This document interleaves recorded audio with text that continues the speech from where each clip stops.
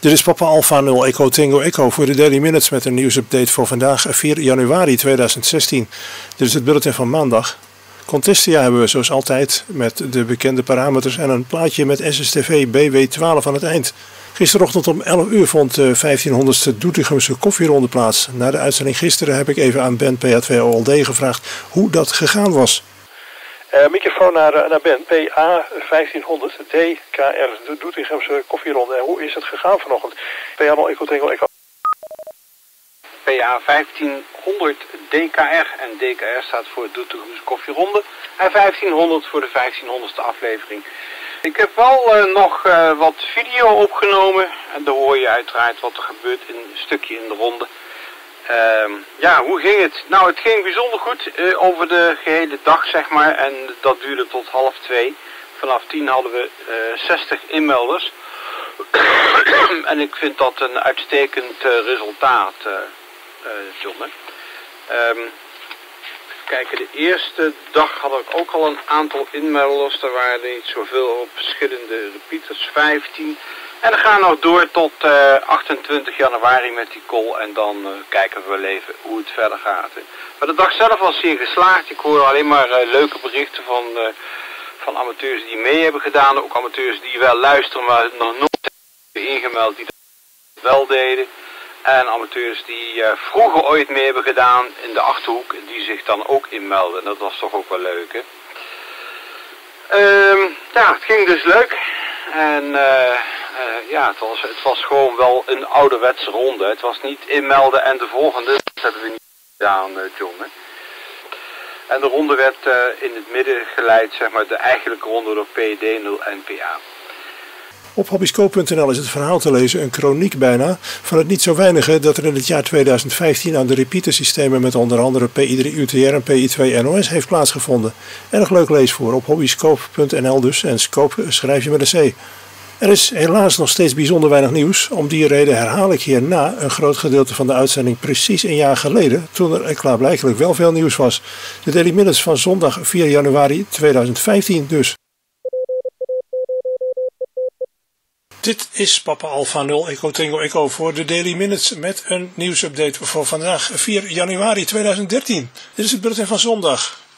Ja, deze week was er geen propagatiebulletin van de RSGB, dus dat is deze week helaas overgeslagen. Uh, in PLM gaat binnenkort zijn dualband radio hotspot uitleveren. Deze werkt door middel van een printplaatje, een Arduino en een Raspberry Pi.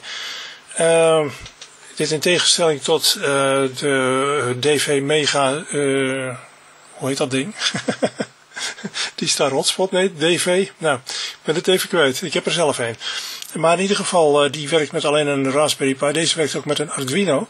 Deze unit zal later onderdeel worden van de transceiver voor digitale modus die Guus uit gaat brengen. Een andere module die daarvoor nodig is de Amber 3000 module. Was een paar maanden geleden al aangekondigd, maar is momenteel nog niet verkrijgbaar. De nieuwe dualband radio hotspot is in de webshop op nou, ik blijf me verspreken. Uh, in de webshop op dvmega.auria.nl te bestellen voor het bedrag van 85 euro. Dat is exclusief de benodigde Arduino en Raspberry Pi. De website digitalvoice.be-nl meldt een bedrag van 145 euro. Maar ik ga ervan uit dat dit bedrag inclusief is. Op 70 megahertz.org is te lezen dat de toestemming in Tsjechië voor het gebruik van de 4 meterband in 2015 is verlengd. Daarnaast heeft Finland de, een ononderbroken stuk van 70.0 tot 70.300 megahertz tot zijn beschikking gekregen. In Scandinavië bestaat de 70 megahertz band meestal uit een aantal kleine stukjes frequentieband. In Finland is dat dus nu één groot stuk band geworden, zij het nog wel 200 kilohertz kleiner dan de Nederlandse allocatie. De band is overigens in de meeste landen kleiner dan 500 kilohertz vaak ook een heel stuk kleiner en ook een 70 megahertz nog lang niet overal in IARU Region 1 voor amateurs beschikbaar. Vrijwel overal is dat op secundaire basis. Ja, ik heb ze al een tijdje niet meer in de uitzending gehad, maar etenpiraten.com meldde dat er op abrupt einde was van de Ster van Twente. En dat meldde ze op 28 december. Er was rond de kerst al een aantal dagen op 94.5 uh, muziek te horen. En opeens werd het heel stil op de frequentie. Al snel bleek agentschap Telecom aanwezig te zijn, bijgestaan door een tweetal politieauto's. Nou ja, zender bijbehorende attributen. Die waren geplaatst in een zeecontainer. Ondanks deze maatregelen was het niet moeilijk om de stuurzender en de tussentrap te ontmantelen. En uh, nou ja, goed, het lijkt erop dat deze actie van AT een einde heeft gemaakt aan de 2014 editie van uh, de uitzendingen van de Ster van Twente. Ja, een ander bericht dat is dat in de nacht van 28 op 29 december een studio is opengebroken en dat er allerlei apparatuur is ontvreemd. Behoorlijk wat als ik het zo zie. Uh, verderop op de site daar wordt, uh, een, staat een foto van een blauwe VW T5 die gezocht wordt in verband met de inbraak in uh, Losser. De auto heeft er waarschijnlijk iets mee te maken. Er staan een aantal kenmerken op de site. En ja, ook, ook het, het, oprollen van zo'n zender is natuurlijk vervelend, maar een inbraak dat is helemaal niet leuk. Ja, daarnaast was er, dat is het bericht van vandaag, bij de zender SAP om 11.40 uur iemand van agentschap Telecom aanwezig geweest. En het station draaide vanuit Sint-Anna-parochie, dus in Friesland. Op het moment was de uitzending nog bezig op 98.2 met een geschat vermogen van wel 14 watt.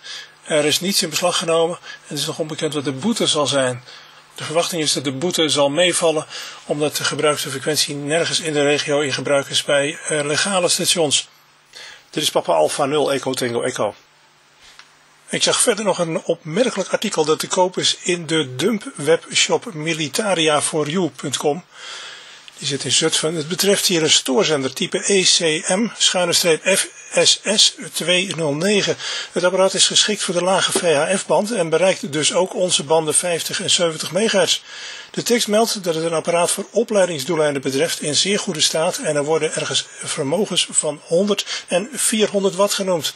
Het ding in een kast van 27,5 bij 20 bij 27 centimeter is te, te koop voor een bedrag van krap 50 euro.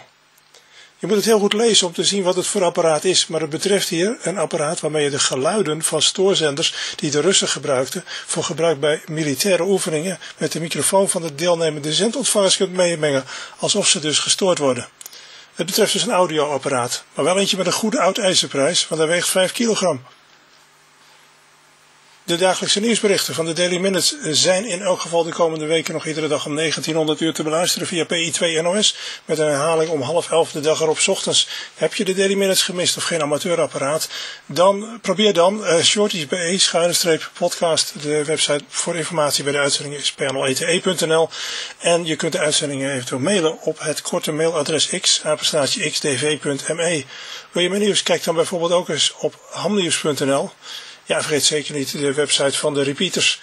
Uh, je kunt daar vinden hoe je deze fantastische en telkens maar weer uitgebreide repeatersystemen binnenkort met voor iedereen toegankelijke S-meter kunt helpen door ze met desnoods een klein bedrag te sponsoren. Tot zover de Daily Minutes voor vandaag. Dit is Papa Alpha 0, Echo Tango Echo. Als je nou denkt, wat kwam me dat bekend voor? Je hebt vanwege een tamelijk gering nieuwsaanbod vandaag geluisterd naar de Daily Minutes van precies een jaar geleden, zondag 4 januari 2015. Volgt nu het TV plaatje.